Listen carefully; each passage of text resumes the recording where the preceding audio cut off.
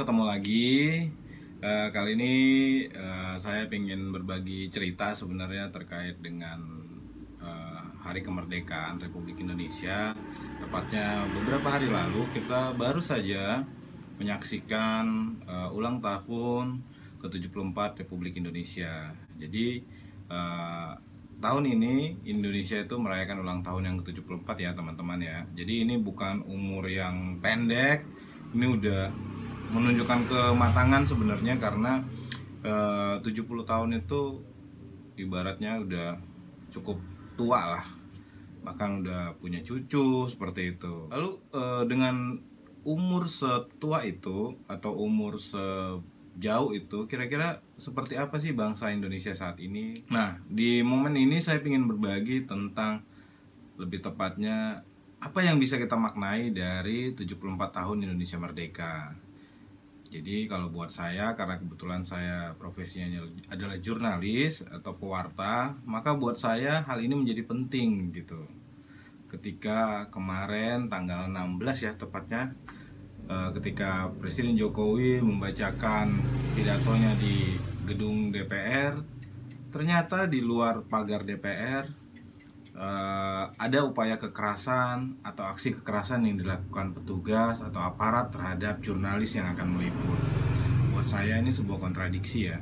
Ketika sebuah negara yang ngakunya eh, berdemokrasi, yang ngakunya kita bebas apa eh, mengeluarkan pendapat, bebas berekspresi, tapi ternyata aksi-aksi kekerasan tuh masih saja terjadi.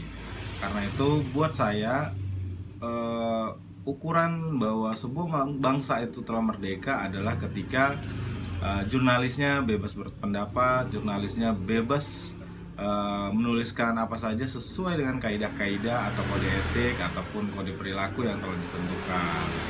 Karena itu ketika kekerasan itu terjadi, menurut saya ini sangat apa ya mencederai lah semangat eh, kemerdekaan itu sendiri. Karena itu saya berharap di masa-masa mendatang eh, tidak ada terjadi lagi kekerasan eh, terhadap jurnalis walaupun agaknya susah ya.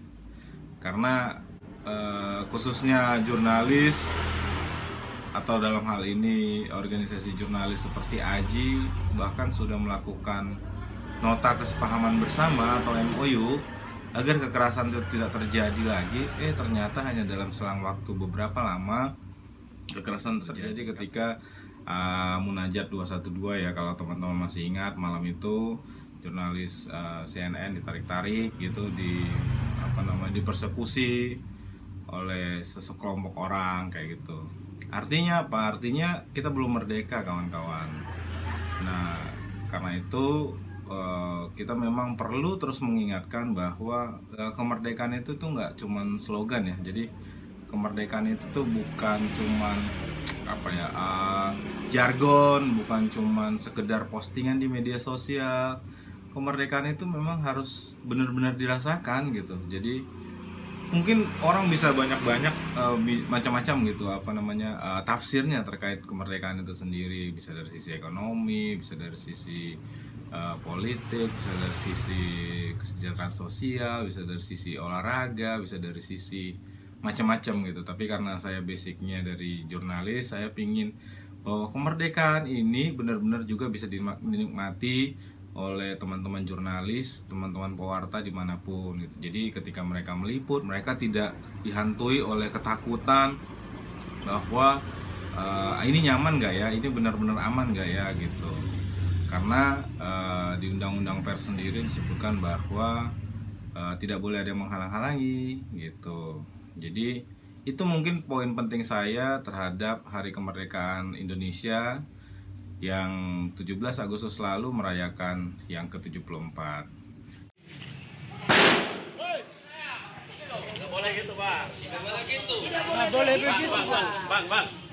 Nggak boleh gitu, nggak boleh, nggak boleh. Bapak, bapak, bapak harus ada.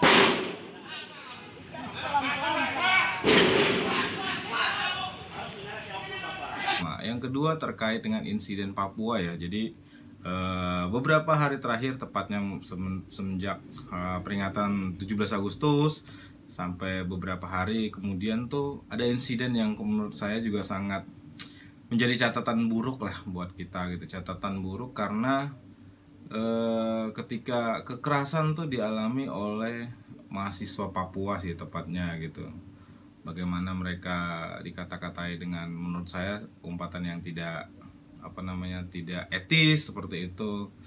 Lalu bagaimana informasi yang berkembang ternyata tidak sesuai faktanya seperti itu. Walaupun awalnya katanya ada insiden apa namanya yang bendera roboh lah atau segala macam tapi ternyata hal itu nggak terbukti yang ada malah aparat keamanan menyerbu menyerbu ke asrama uh, mahasiswa Papua yang ada di Surabaya. Itu kan sangat mengenaskan ya. Karena uh, dalam waktu yang tak begitu lama juga karena adanya apa ya uh, tidak sensitif media yang tidak sensitif memberitakan ini akhirnya aksi ini jadi berkembang liar gitu. Ada di Manokwari ada di Sorong ada di Merauke juga. Ah, yang terjadi apa? Yang terjadi adalah munculnya sentimen-sentimen etnis gitu. Jadi dan ini sangat mengerikan. Untungnya pemerintah uh, provinsi Jawa Timur khususnya gubernurnya Buko Viva langsung menyatakan sikap meminta maaf. Demikian juga presiden kita Joko Widodo yang langsung menuliskan apa ya rasa uh, bahwa yuk kita mari kita berdamai lagi, mari kita bersatu, mari kita saling memaafkan bahwa ya ini mungkin uh, sebuah apa ya kesalahan yang harus segera diperbaiki. Walaupun sebenarnya khusus tentang Papua ini saya merasa bahwa kita memang kurang adil terhadap Papua kawan-kawan.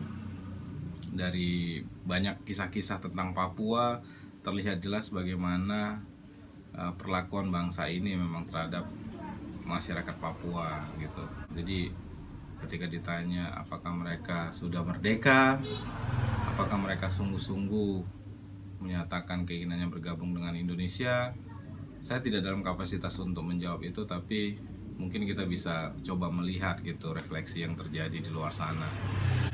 Nah, karena itu menurut saya ketika pemerintah tidak dengan cepat merespon ini artinya menangkap semua aktor-aktor di balik penyerangan apa di kampus mahasiswa itu maka rasa percaya diri atau rasa apa ya rasa peduli masyarakat Papua terhadap Indonesia akan semakin berkurang.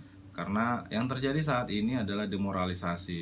E, bisa dibayangkan ketika demoralisasi itu terjadi di masyarakat Papua bukan nggak mungkin gitu hal-hal terburuk yang yang selama ini didengungkan bisa saja terjadi tapi saya pribadi berharap semoga pemerintah segera cepat tanggap ya terkait hal ini karena ini sangat buruk dan ini juga menguju, menguji kredibilitas pemerintah sendiri terkait penanganan kasus ini. Karena buat masyarakat Papua ya mari kita apa ya?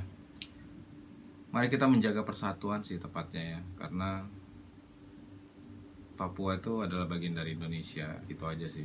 Jadi jangan sampai di ulang tahun yang ke-74 ini justru justru disintegrasi bangsa itu terjadi gitu. Itu kita tidak sangat inginkan. Demikian video singkat saya kali ini. Jika karya kalian merasa video ini bermanfaat kalian boleh like share komen dan juga subscribe ya.